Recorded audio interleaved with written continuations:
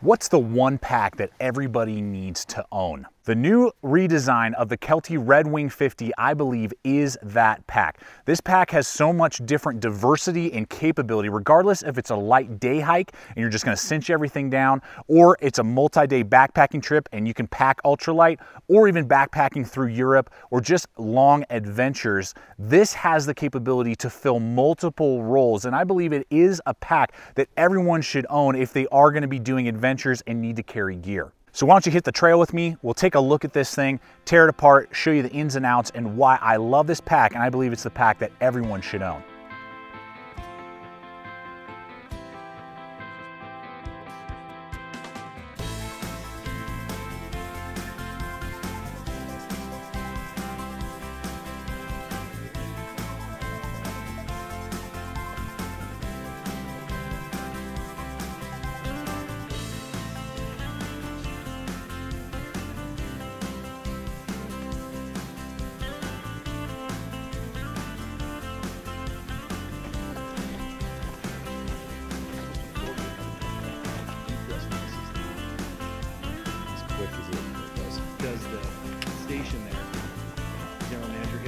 There.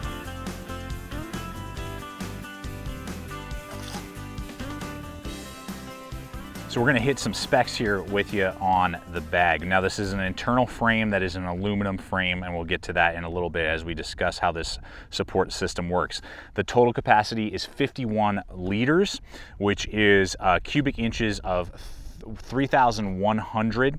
Now the weight, which is great, it's gonna come in at under four pounds. So this is three pounds, 11 ounces or 1,497 grams. Now this will fit torso measurements of 15.5 inches to 21 inches.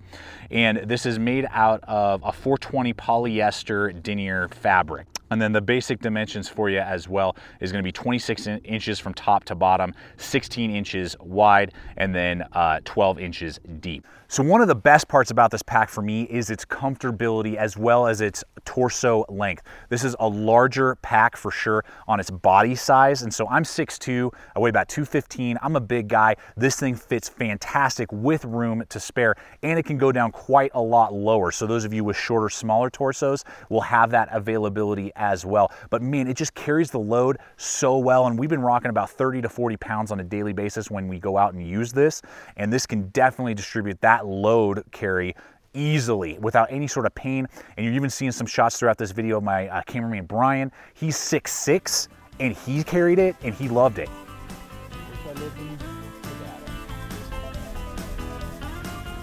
Right there.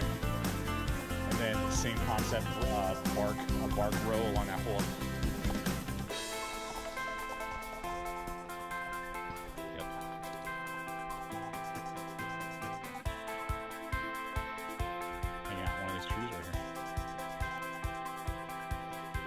he loves it so much at 6'6 and fits him so well, regardless for that day pack idea or a light um, backpacking trip, if you can, you know, pack ultralight, uh, it has that capability and its comfortability is just insane with the perfect fit. So let's go ahead and look at actually that perfect fit system and how that all plays together to make it so comfortable on your body.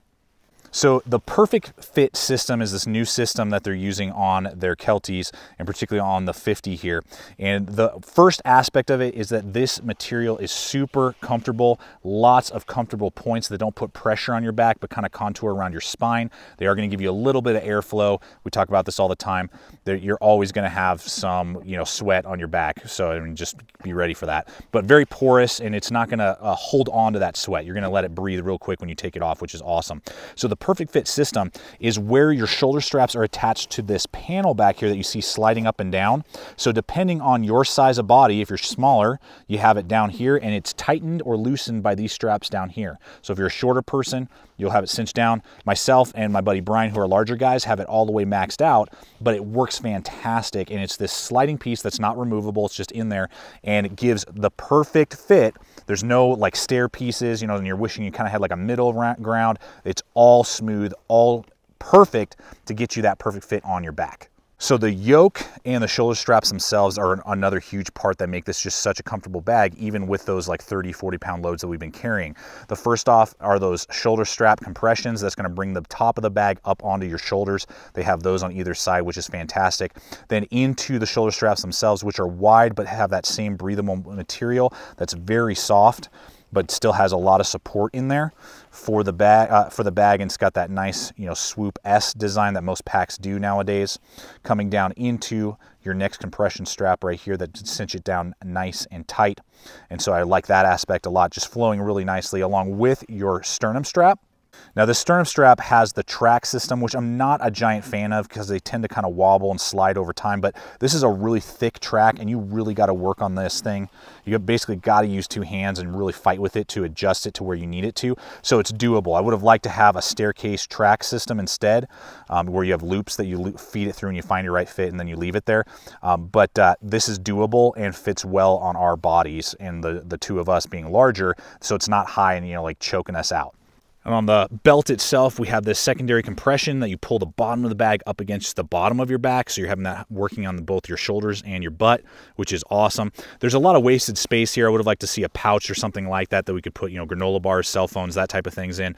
Uh, so that I feel is a little bit of a waste of space. But then over here we have our V style, which are awesome. Uh, waist belt attachment here. So you pull forward towards yourself and cinch it down. This is a great way to help support that weight. And this hip belt is fantastic. Helps distribute the load so nicely and carry it on your hips instead of on your shoulders so you can go miles and miles with heavy loads. So throughout this video, you've seen this pretty maxed out, stuffed out, fully expanded. Now we're gonna look at it if you slim it down nice and slim, like a 30 liter day pack. And there's really what this looks like. That is done by the fact that it's nice and there's no rigid sides, you know, it's all flexible, and the four compression points. We have one down here, and they have little elastic keepers so that we could roll this all the way up and keep it out of the way so it's not flapping all over the place. Then we have our points up here, and those are on all four sides. And you can see how slim it now is. It still can carry the water bottles, still do everything that we want it to, but now I can use this as a day bag versus like a multi-day bag, and now it's ultralight and slim. So now I'm ready to hit a summit when I leave all my gear at base camp, and I can do this very easily.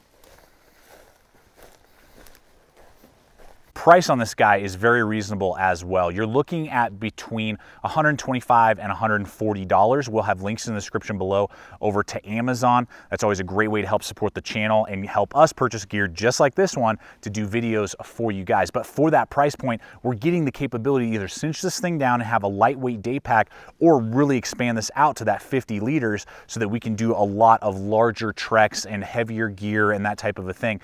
Whereas there are plenty of, you know, just day packs that can go between 100 and 150 bucks. Uh, so that's very reasonable, I believe, for the capability of either a small pack in the sense of its volume or a large pack that this offers you. There are a few different color combinations as well. This is the black. I believe they have a red, blue, and a kind of seafoam green. So very reasonable though, I believe, for the materials and the layout and the comfortability that this pack offers. So over the last model, they've cut down on some of the weight by going to a 420 denier nylon. Uh, and I can tell that it's a little more of a, a, sheen and a little bit lighter weight than my last version of the Redwing 50 that I owned. So they cut down on some of the weight, which is a good thing, but they've also cut down in a couple areas trying to cut down on weight that I feel like they should not have skimped on. The first are the clips. These clips are very lightweight and a little too thin for my taste. Now they're pretty flexible. I'm not too concerned about them, but you know, if you stepped on them while you took it off, you know, you, you took a break, you took your pack off, and you accidentally stepped on something, you could easily snap these off. So that's something where I see that they kind of cut corners a little bit, did the same. They're not just quite as heavy duty as the last version on these clips. I would have liked them to keep the more heavy duty industrial strength clips on the pack, and that's as well on the compression straps. All of them are just a little too lightweight for my taste. Are they strong enough to last a while? Sure, but I'm just not as comfortable as I would like to be with their density. The other aspect is the bottom of the bag. It's the same thickness as all the rest of it. I would have liked to see a reinforced bottom would have helped with that, particularly with the MOLLE that we've looked at and that you might be carrying heavier loads there. Uh, you know, and something sharp in the bottom of your bag could easily puncture it. Or if you put it down on like a piece of wood that's really sharp, it could puncture the bottom. So I would have liked to see some reinforcement in the bottom of the bag as well. But the overall now lightweight capability and just cutting down on the overall weight makes it an overall great bag for that crossover between a light day hike and a heavy duty, you know, multi-day backpacking backpack. So, you know, there are some compromises, but overall it is a package worth owning and worth having. For organization, you have a huge admin pouch. We got our two YKK zippers here that run the length of the bag. Open this thing up, huge, deep, tons of organization, including a fleece lined pouch for your tablets. A new added feature for this design is the beaver tail stash pouch. You have three attachment points, including a aluminum G-hook and then two compression straps. Open this bad boy up. We have a jacket in here, but you could easily, you can see how deep and large that is get a small one to two man tent in here, large tarp, or other items that you would want to stow in here. We got our stash pocket on top. I love these type of pockets. It makes it very easy to get stuff like beanies, gloves, that type of thing. Throw your cell phone, keys. It does have a key keeper and is a rather large compartment at the top of the bag. Great reinforced heavy duty grab handles, one at the top so you can even hang the bag fully loaded as long as your hook is strong enough, as well as a hideaway back handle here so if you're pulling it off of a luggage compartment or a luggage trolley, easy to grab on the back as well. This is one of my favorite features on the bag are these huge side pockets. Now this is big enough to hold a 32 ounce Nalgene, so all kinds of different gear. You got this side zipper right here. We got that jacket that we just had a moment ago. Giant compartment. And the best part is it's pass through. So you can see here that you can run tripods, which is usually what I do, hatchets, I mean, you name it, through there, and it will even feed straight down into the water bottle pouch. Now the water bottle pouches are mesh. They're pretty lightweight. This is another area where they cut down on weight and I would have liked to see it a little bit heavier duty. Now it'll hold your 32 ounce Nalgene's or much larger Nalgene's or other bottles and they'll just go underneath your pocket up here as you can see with this bottle that pass through, but it's pretty open. There's no shock cord to cinch down and really keep your bottles. I would like to see that attached and added to in the future is around the neck. Give us a nice shock cord to keep our bottles and stuff from falling out. Now, as long as it's underneath this lip, it's not going anywhere, but it's a pretty loosey-goosey fit. Two more YKK zippers for the main compartment with these huge attachment loops. So even with gloves on, you know, if you're doing cold weather hiking, these are gonna be able to fit through there and pull this open. Now the way it's designed is that either you can make it a top loading when you're using the compression straps, and so it'll just open to the top, so boom, then you can get into everything, or you can disconnect the compression straps altogether, and it'll open almost to a full clamshell so you can get huge access to your gear inside. On the interior here, first off, we have behind this little lip, we have our panel as well as a stick of aluminum that runs through there. So it's a nice rigid frame that you could pull out if you needed to for some reason, clean the bag or something like that. Over here are our two water bladder attachments. I don't like these because they don't connect together. So you got to hook it onto one side of the bladder and it just kind of hangs there. Or you got to come up with kind of some jerry rig system of like paracord or something and then hook your water bladder in the center. So that's one complaint that I have, as well as the port for the water bladder is right here and it's really narrow. So, I mean, you're, you're going to be fighting with it. It'll go through there, obviously, but you're going to fight with it. It will carry bladders, obviously, even up to 100 ounces, but it's just not quite as intuitive as I would like. This sleeve can also work as a a laptop sleeve. We have this little tab here to keep your laptop from falling out, and this is reinforced with some foam inside, so it's a very comfortable setup, and it's far away enough off the ground that if you were to drop the bag, you're not gonna damage your uh, laptop right away. And here, as you can see, guys, just a huge dump pocket. I mean, you can easily get food, a couple changes of clothes, a sleeping bag in here, no problem, or multiple layers of clothes, whatever you need to do.